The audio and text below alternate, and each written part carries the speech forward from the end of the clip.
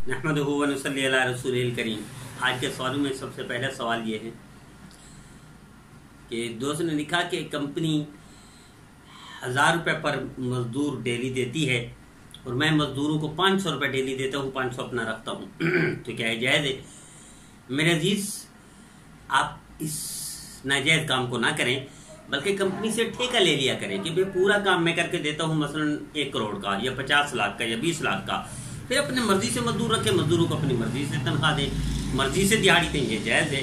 लेकिन मजदूरों के ही हज़ार रुपये पर डे देती है और आप उसमें से पाँच सौ रख के, हर मजदूर के पाँच सौ रख के, पाँच सौ आगे देते हैं। ये कैसे जायज़ हो सकता है? हाँ इसकी एक शक्ल होगी। अगर ये ऐसा हो जाए कि उसको पता हो हज़ार रुपये देने वाले को कि आठ सौ या नौ सौ दे रहा है। मजदूर को पता हो कि हमें हमारे लिए हज़ार मिल रहा है। फिर इसमें आप अपनी तरफ़ से सहूलतें दें। और अपना भी कुछ वर्क करें, अपनी भी मेहनत करें, अपना कुछ नुकसान भी करें, इसमें कुछ ना कुछ खून पसीना वगैरह शामिल हो कुछ तो फिर ही जायज़ होगा, वगैरह नहीं। इसी तरह सवाल पूछा कि तबलीगी जमात हमारी गई और हमारी रकम इकट्ठी हुई थी, जब वापस जाने लगे तो रकम बच गई थी। अब अमीर साहब ने कहा, आप सारे लोग राज़ी हो, मैं सदके में दे दूँ या किसी को दे दूँ? तो मेरा दीदी, इस तरह जायज़ नहीं है। हो सकता है कोई दिल से राज़ी ना हो, लेकिन आपसे शर्मिंदा होकर इजाज़त दे रहा हो। अमीर साहब को चाहिए कि जितना जितना बचती है, साथियों की रकम में अपने अपने हवाले कर दें। वे आप अपनी मर्ज़ी से सदका करना चाहो, मस्जिद में देना चाहो, गरीब को देना चाहो, अपने पास रखना चाहो, पूरे रखना चाहो अपने पास, या आधा सदका दो, आधा अपने पास रखो तो ये सूरत जायज़ है। उस तरह वो मुनासिब नहीं है, जिस तरह अमीर साहब कर रहे हैं। इसी तरह सवाल पूछा कि मैं जहाँ भी जाता हूँ, मुझे ड्यूटी नहीं मिलती। खुदा रहा मुझे कोई वजीफा बता दें। मेरे अज़ीज़, अगर आप जिस दिन ड्यूटी के लिए जाते हैं, उससे पहले दो रकात नफिल, सलातुल हाजात पढ़ें। और कुछ थोड़ा सा अच्छा एक दो रुपए सदका करें, सलातुल हाजात पढ़ के उसके लिए दुआ करें, जिसके बाद ड्यूटी के लिए जा रहे हैं। उसके लिए दिल में डाल दें। सदका उसी नियत से करें, अल्लाह उसके दिल में डाल दें। फिर जाते हुए हसमन वकील पढ़ते रहे, जब तक इंटरव्यू मुकम्मल ना हो। यकीन अल्लाह आपको ड्यूटी देगा और हलाल ड्यूटी भी देगा इन इसी तरह सवाल पूछा, क्या कारपेट पर सज्जा किया जा सकता है। जी हाँ कारपेट पर सज्जा किया जा सकता है, सोफे पर भी किया जा सकता है, चापी पर नमाज़ पढ़ना चाहें, बेड पर नमाज़ पढ़ना चाहें, नमाज़ जायज़ सज्जा जायज़ कोई है दिन। और पूछा कि गैर मुस्लिम के साथ खाना खाना जायज़ है या ना जायज़ है? गैर मुस्लिम के साथ खाना खाना जायज़ है, लेकिन हराम ना हो, हलाल हो, मिठाई हो, अपनी खाना हो, बिरयानी हो, कौरमा हो तो जायज़ है, कोई हर्ज नहीं। इसी तरह सवाल पूछा कि नमाजी के आगे सामने से कितना फासले पे गुजरना चाहिए? कम अज कम तीन सफ़े आगे गुजरना चाहे तो गुजर सकते हैं। इससे अंदर अंदर में नहीं सर। इसी तरह ख्वाब पूछा, किसी ने सींग को काटते हुए देखा। सींग काटते हुए देखना ख्वाब में इस बात की दलील है, कारोबार में फ़ायदा होगा और बरकत वाला कारोबार होगा। इसी तरह ख्वाब में किसी ने पूछा, ख्वाब के अरफात का मैदान मैंने देखा।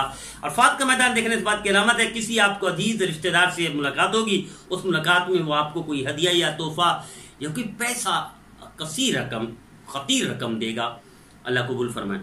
इसी तरह ख्वाब देखा कि धुनी दी है ऊद खुशबू की। ऊद खुशबू को धुनी इस बात, धुनी देना इस बात की अलामत है। अल्लाह आपसे दिन का काम लेंगे जो फैलेगा। मुल्क से बाहर अल्लाह आपसे दिन का आलमी काम ले कबूलियत वाली ज़िंदगी अता फरमाए। इसी तरह किसी ने पूछा, वजीफा बताओ, बुरे ख्वाबों से बचना चाहती हूँ, मेरे लिए वजीफा, बताएँ। तो बुरे ख्वाबों से बचने के लिए सोते वक्त मेरी बहन आयतल कुर्सी तीन दफ़ा पढ़ें, दम करें। आखिरी दोनों सूरतें पढ़ें तीन दफ़ा, दम करें। तस्वीर फातिमा अल्हम्दुलिल्लाह, अल्लाह अकबर, तैंतीस तैंतीस बार पढ़ें, दम करें। इनशाला बुरे ख्वाबों से अल्लाह महफूज कर देगा। इसी तरह औलाद नहीं होती, क्या करें? इकतालीस दिन, दोनों इकतालीस दिन, दोनों मियाँ बीवी रोज़ाना सुबह सुबह एक एक केला खाए, उस केले पर काफा या ज़िक्र रहमत रबी का करिया। इसकी शुरू की पाँच आयतें पाँच आयतें शुरू की। सोलहवें पारे की जो शुरू, ये आया वो काफा या स्वाद सूरत है। शुरू की पाँच आयतें, केले पर दम करें, मियाँ बीवी खाएँ। इकतालीस दिन। मुझे रिपोर्ट दें, अल्लाह के करम से, अल्लाह के फजल से इन अल्लाह औलाद देगा।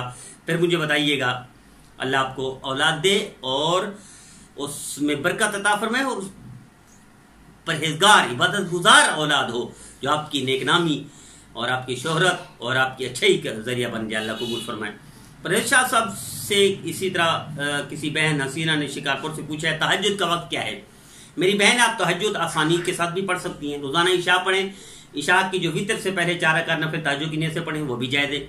फिर जब सोना चाहें, जिस वक्त सोएँ उस वक्त चार रकात नफिल तहजद के पढ़ने दो दो करके, वो भी जायज़ है और फिर इसी तरह सुबह की अजान से पहले, सुबह का वक्त दाखिल होने से दस मिनट पहले खड़ी हो जाए, वज़ू करके चार रकात नफिल तहजद पढ़ लें, या दो रकात नफिल पढ़ लें कम से कम, वो भी जायज़ है इसी तरह बहना सीना ने पूछा कि किसी आलिम के साथ कब्रिस्तान किसी के बनाकर, क्या वो जान छूट जाएगी उसके अजाब कब्र के अजाब से, आगे की तकलीफों से, इस बुनियाद पर उसको रियायत और मिल जाएगी?